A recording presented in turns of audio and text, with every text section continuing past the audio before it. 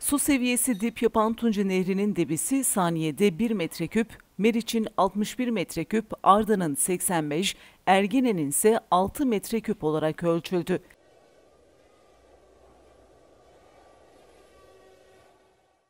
Trakya Üniversitesi Doğal Afet Araştırma ve Uygulama Merkezi Müdür Yardımcısı Doçent Doktor Musa Uludağ, aşırı sıcaklar ve kuraklığın Trakya'nın önemli su kaynakları Meriç, Tunca, Arda ve Ergene nehirlerini olumsuz etkilediğini söyledi.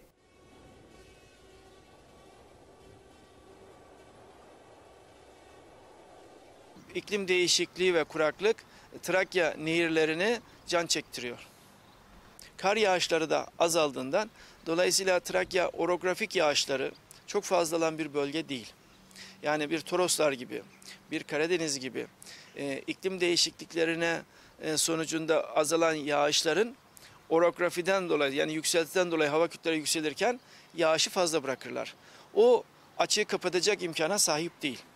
Bunun en güzel kanıtı aynı şekilde kaynağını Bulgaristan'dan alan e, Tunca, Meriç ve Arda'da da görüyoruz ama burada bir handikap var.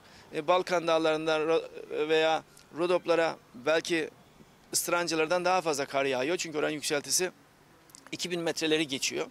Fakat burada da şu karşımıza çıkıyor. Bulgaristan'da bu e, nehirler üzerinde 25'e yakın baraj var.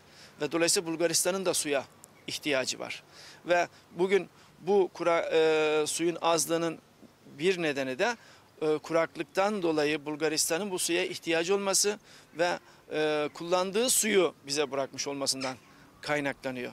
Dolayısıyla su yönetimi e, önemli bir problem.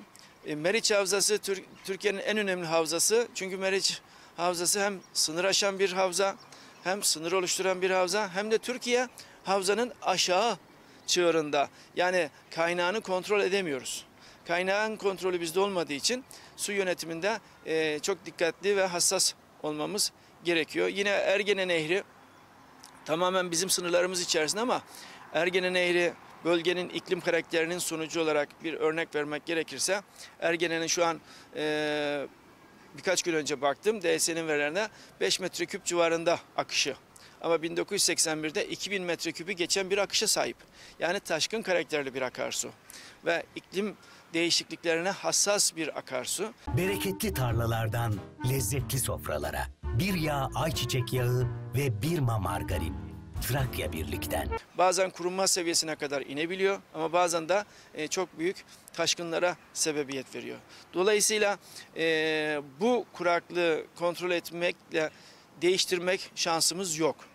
E, yağışları arttırma ve azaltma şansımız ama bizim bunu kullanmak ve yere düşen yağışın buharlaşmasını azaltmak, sağlıklı şekilde kullanmak ve buna uyum sağlayabiliriz.